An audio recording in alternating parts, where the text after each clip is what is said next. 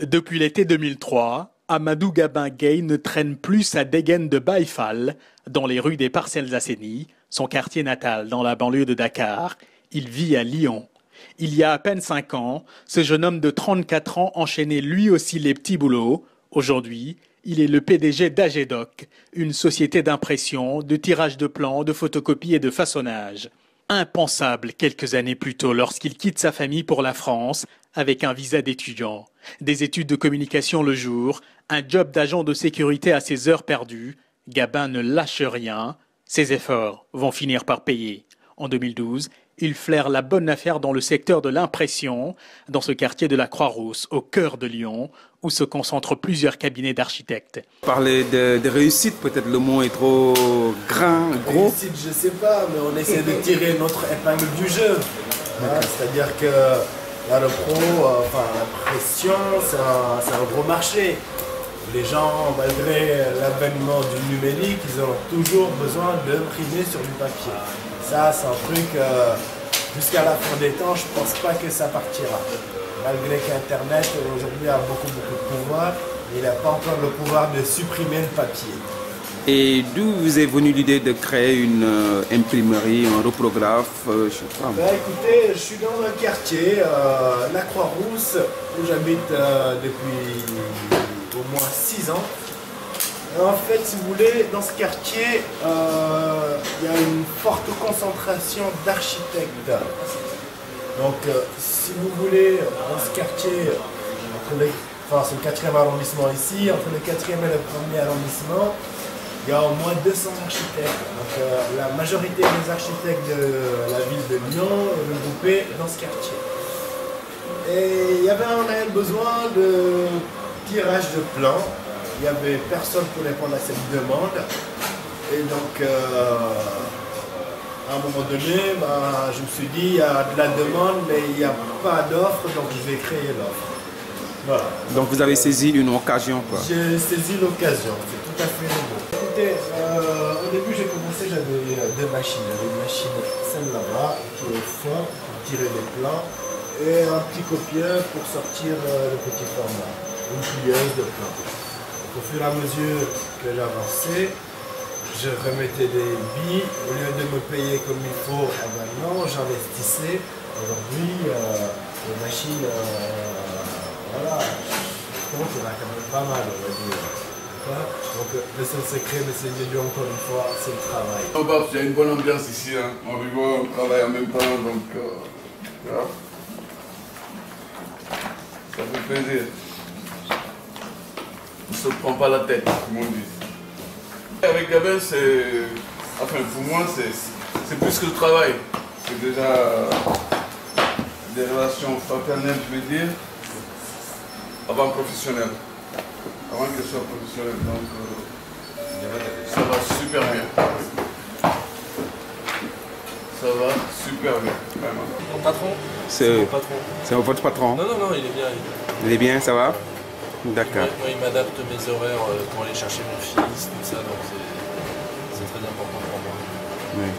il, a... il a d'abord commencé seul, avec un ordinateur et une imprimante, dans une toute petite salle.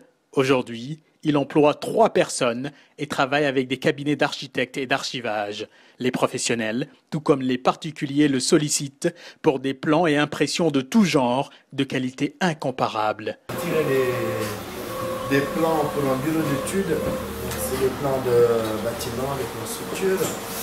Euh, en fait, il m'envoie ce qu'on appelle un bordereau d'envoi sur lequel il y a tout le nom des plans le nombre d'exemplaires que je dois tirer pour chaque Parce que ces plans, après, on doit les envoyer aux entreprises qui bossent dans ce bâtiment, par exemple, dans le projet. Et voilà, donc là ils sont en train de trier les plans, ce qu'on appelle des plans armature. Euh, ils sont en train de les trier et les plans coffrage ils sont en train de sortir là-bas. Ça c'est les grands plans, d'accord? Ça les armatures c'est les A3.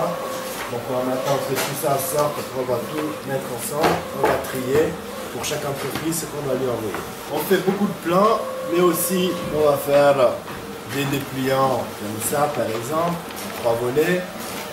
On va faire des plaquettes commerciales comme ça, c'est un dépliant. Tout ça, c'est sur une machine numérique, celle qui est euh, juste derrière vous.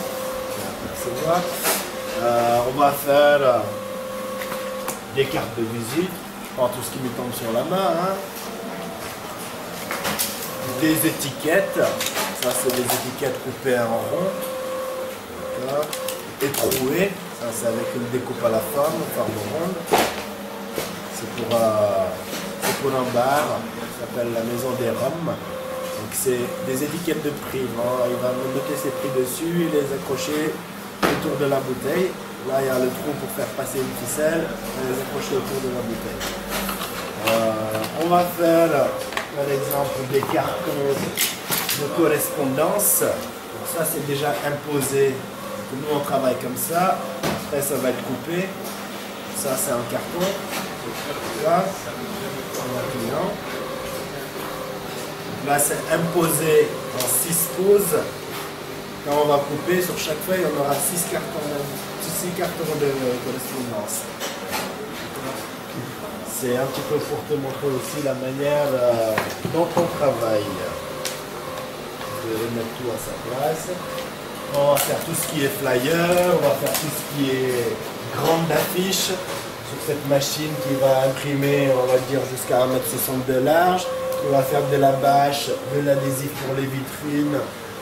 Donc euh, c'est sur celle-ci on fait tout ce qui est kakemono, euh, tout ce qui est bâche extérieure, tout ce qui est vinyle autocollant. Euh, on peut aussi faire du papier peint, imprimé sur du tissu euh, avec cette machine. C'est une machine qui est on va dire, multifonction. Voilà. Donc l'autre où les plans sont en train de sortir, c'est spécialement pour des plans. Là on fait du début, du début, du début. Voilà. Ah, ça c'est les plans que la machine aime ça. Ils sont sortis, ils sortent pliés, imprimés, pliés au format 21 par 29,7. Ça, c'est le plan que la machine a sorti. Et qu'elle a plié elle-même. hein. Donc, nous, derrière, on n'a plus rien à faire à part prendre et plier. Et ça fait combien de temps vous existez? Euh, la boîte, on en est à notre quatrième année là. Donc du coup, aujourd'hui, euh, c'est quoi votre secret, même si vous ne voulez pas parler de réussite par discrétion, mais quand même ça avance un petit peu. C'était quoi votre, euh, enfin, votre Le secret secret, c'est la persévérance, le travail. Hein, Faut pas compter les heures qu'on fait. Le travail, je pars de chez moi à 8h30, je rentre, je rentre chez moi, des fois c'est 20h, 21h. Donc il n'y a pas de secret. Le seul secret, c'est le travail. Travail. AGEDOC allie expérience et savoir-faire dans ces domaines qui lui permettent de garantir de la qualité, de la flexibilité et de la réactivité. Gabin commence à se sentir à l'étroit dans son petit local. Il va falloir se trouver des bureaux plus grands. La clé de son succès, beaucoup de travail, du talent et son côté attachant. La bonne humeur sénégalaise n'est jamais très loin. Faut pas avoir peur de faire des heures. On l'a vu tout à l'heure avec une cliente, vous avez réussi à fidéliser des, des clients. C'est quoi? C'est le travail bien sûr, mais c'est quoi d'autre? Et en plus, fait. Vous savez qu'on est des Sénégalais, on est quand même pas mal commerçants. on est à tchatch. Donc on sait fidéliser les clients, forcément. Moi je dis qu'il faut prendre quand aujourd'hui on va se considérer qu'on a une double culture parce que euh, ça fait quand même euh, un petit moment qu'on est ici, euh, au moins une dizaine d'années. Pour moi, il faut prendre le bon côté sur chaque culture tout ça ensemble pour pouvoir avancer. D'accord? Euh, Ce bon côté de la France, il faut l'apprendre. C'est-à-dire le côté où on a envie de travailler, on a envie de persévérer, où on est sérieux dans ce qu'on fait ça. Voilà. Pour moi, il n'y a pas, y a pas d'autre secret que ça. Très bien, Ouais. très bien, merci On peut sortir le, le reste? Oui, s'il Ouais vous plaît. Ok, très bien. Euh, vous pouvez récupérer votre facture juste là-bas Oui,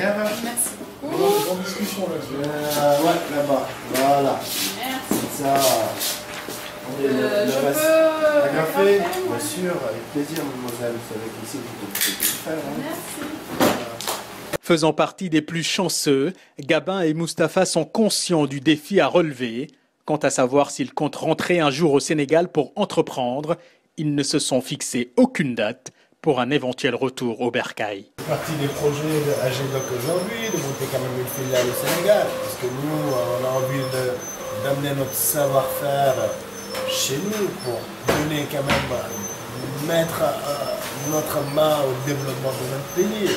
C'est une chose qui est tout à fait normale. Pour l'instant, euh, le projet mûrit petit à petit, mais ça va se faire dans les années qui suivent, Inch'Allah. C'est-à-dire retour au pays, mes vacances, mais pas retour définitif, définitif parce que je suis bien là, j'ai trouvé ma place ici. euh, on m'a fait une place au niveau de la France, donc euh, étant de nationalité française, euh, je suis bien là, comme je suis bien au Sénégal. Donc pourquoi pas faire la navette, mais retour définitif, reste à, te booy seet sax taxu koo gaaw. Te léeg-léeg mu dem ba gaaw. Tukki gane waaw. Lu jëm jéeri ma ngay naaw. Naawal ba kaw asamaan ëndaale ñuy xabaar.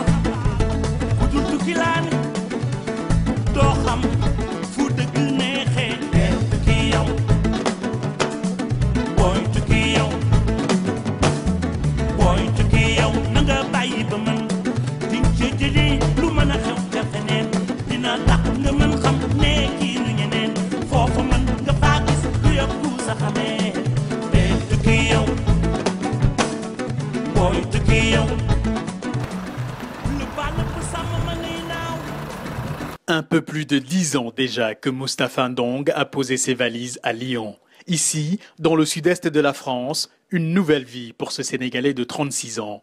Mustapha est ceinture noire de taekwondo, devenu patron. Aujourd'hui, il est le propriétaire de ce complexe sportif, le 7 Fitness, qu'il vient tout juste de racheter. Deux grandes salles de cours collectifs, un sauna, une piscine et tout le matériel nécessaire pour pratiquer du sport. Que euh, j'ai une salle de euh, 750 mètres carrés avec euh, des cours collectifs, euh, 60 cours collectifs par semaine. Et puis euh, j'ai pas mal d'intervenants externes comme je te dis tout à l'heure, donc c'est des euh, vacataires. Et j'ai deux employés qui tournent avec moi, donc euh, plus euh, deux stagiaires. Quand il a quitté son Sénégal natal en 2005, avec un diplôme d'état d'éducateur sportif dans les valises, il voulait réussir dans une France qu'il croyait paradisiaque. Et ça n'a pas été difficile en tant que Sénégalais d'origine, je veux dire, non, c'était pas difficile pour réussir euh, ce projet. En tant que Sénégalais euh, qui vient d'arriver en France, c'est c'est tout le temps dur parce que c'est les cultures, c'est pas pareil, c'est tout, c'est pas les mêmes euh, modes de fonctionnement au niveau. euh, euh, déjà, rien que le climat, c'est pas pour s'adapter au climat, c'est très très très dur. Après, il faut montrer aux gens que quelle que soit l'origine, euh, on peut quand même euh, faire son chemin en France et euh, aboutir à ses fins. Euh, Il n'y a, rien qui est difficile euh, par rapport à ce, domaine-là. Mais par contre, oui, effectivement, quand tu changes de culture, c'est très, très, très, très dur de s'adapter. Hum, Au départ, ça posait problème quand les, adhérents ont su que j'ai racheté la salle. C'était un peu compliqué parce qu'ils se sont dit, ben, tiens, le mec il s'appelle Mustapha, il est blanc. Donc forcément, ben, ça sera une réputation de personne barbue et puis euh, ou la racaille du coin. Euh, plus musulmane euh, que autre chose. Donc du coup, voilà. Ce qui fait que j'ai fait comprendre aux gens que moi, je suis dans le milieu du sport, mais plutôt dans le sens de euh, s'épanouir au milieu du sport que- qu'une question de religion. Séduit, comme la plupart des jeunes Africains, par les images à la télé et les histoires des émigrés. Une fois arrivé, il a découvert la froideur et la dureté d'une réalité que l'on frôle à peine dans les récits des vacanciers. Il faut se lever tôt, très tôt parfois, trimer fort et ne compter que sur soi-même. Les petits boulots, chauffeur-livreur, agent de sécurité, il les a enchaînés sans rechigner, tout en continuant de pratiquer son taekwondo. Le secret, c'est il n'y a pas 15 000. hein. C'est, euh, en France, ce qui marche ici, c'est les diplômes. Il fallait juste passer les diplômes et puis se mettre au travail et ne pas lâcher l'affaire.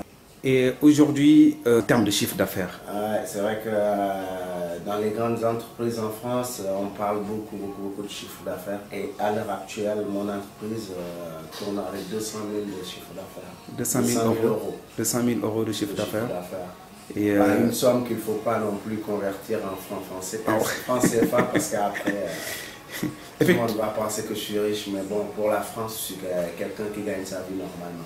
Son rêve, c'était de pouvoir vivre un jour de sa passion et du sport en général. C'est désormais chose faite. Trois salariés pour l'instant et un chiffre d'affaires de 200 000 euros, soit un peu plus de 130 millions de francs CFA. Une réussite fulgurante. Ben, parce que c'est mon domaine, tu vois. ouais. J'ai euh, toujours œuvré dans le milieu du sport. Maintenant, ben, ma réussite, c'est euh, de monter euh, une structure pareille. Et puis, euh, de pouvoir faire profiter aux gens de mon expérience dans le milieu du sport. Et au finish, euh, tout se passe très bien. Quoi. Tout se passe super bien. Les gens, ils ont appris à me, connaître. Du coup, euh, ils ont vu que euh, j'ai de l'expérience. Puis, je ne suis pas quelqu'un qui est investi pour récolter des sous, mais plutôt quelqu'un qui est là pour partager les, bonnes, les bons points du, du sport. Je suis, bah, de, moi, je suis salarié ici depuis 3 ans et puis avec Tafa, je travaille depuis, euh, depuis juillet. là. D'accord. Juillet 2015. Donc avant que Tafa ne reprenne la boîte, vous étiez déjà là. J'étais déjà là, Donc il vous a repris avec la boîte. c'est ça. D'accord. Et euh, avec le changement de propriétaire, ça fait quoi Non ça... Ça fait un petit peu bizarre au début, Oui. donc euh, les habitudes qui changent. Mais après, c'est un rythme différent à prendre. c'est, euh, puis c'est, c'est positif aussi, quoi. ça apporte d'autres, euh, d'autres choses dans la structure, donc, euh, donc c'est plutôt bien. Ouais, bah regarde, ta fiche de paie, elle est là. Ah oui, tu peux me l'envoyer par. euh, Ben, parce qu'on s'était trompé sur le mois d'août. En fait, le mois d'août, il vous a compté tout le mois d'août, alors que chacun avait fait une semaine. Ben, comme tu répondais pas, il l'avait déjà élaboré. La route est longue, certes, mais elle est loin l'époque où Mustapha s'entraînait comme un forçat au taekwondo pour apprendre à se défendre à l'ombre des hangars d'avions de la base militaire de Thiès où vivait sa famille, à 60 km de Dakar. En fait, j'ai grandi dans une base militaire où on apprenait à faire du, du taekwondo. Et par la suite, ben, je suis parti de l'école super tôt, en fait, pour, euh, pour m'investir dedans. Et depuis, euh, je donne des cours à force euh, pour aider mon, mon prof auparavant. J'étais juste assistant et au, au fur et à mesure, j'ai passé mes diplômes. Et puis voilà, maintenant, je suis prof de sport. Pour le sport, pour le taekwondo. Diplômé d'État, oui, de taekwondo et puis euh, fitness martial et euh, self-défense. Self-défense. Et ça fait donc euh, quelques mois quand même, vous le fréquentez, comment vous le trouvez? Euh, bien, bien, bien. Bosseur. Bosseur Ouais. D'accord. D'accord. Et donc euh, vous pensez qu'il va bien gérer quoi le- Voilà, il a le profil pour bien gérer. toutes les, euh, il a toutes les armes en main pour bien gérer la salle. Le travail et aussi une bonne dose de tchatch, cet atout naturel de tout bon Sénégalais qui lui a permis de vendre son business et de séduire les clients. Alors Bah écoute bien. Bon, j'ai fait un peu de machine.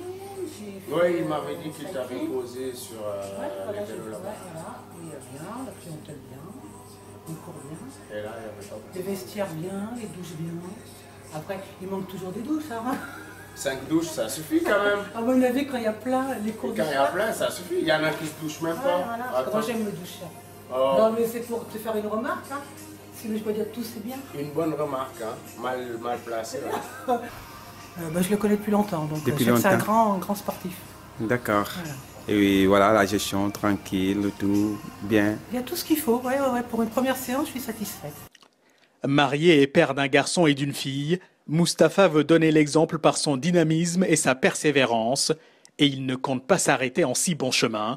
Prochaine étape, étendre son entreprise. J'aimerais bien développer, que ça avance. En fait, c'est un projet, euh, non seulement que ce soit un projet de famille, que ça reste un projet euh, que j'ai pu monter, mais euh, j'aurais bien aimé que ça soit le projet de mes enfants. Donc mes enfants, ils sont encore jeunes, mais ouais, pour que ça tienne la route, il faut développer et il faut que mes enfants puissent euh, gérer pour le futur euh, ce projet-là.